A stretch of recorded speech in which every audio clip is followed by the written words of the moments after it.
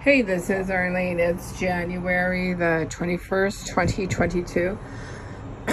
so luckily, I remembered I had a second leash that I ordered. So this is the leash that was stolen.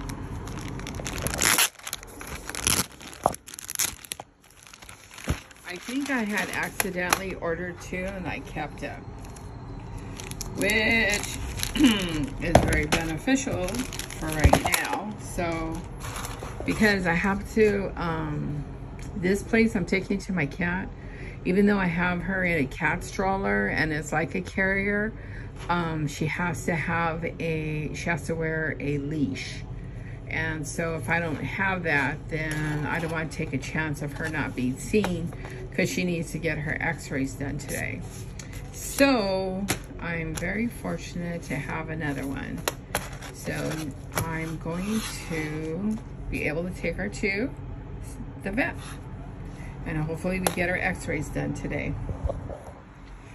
This is at 5640 Santa Monica Boulevard in Los Angeles, California, 90038. We're located next to Gold Diggers. You could Google Maps it, Google Earth it, or you could Yelp it to see where we live.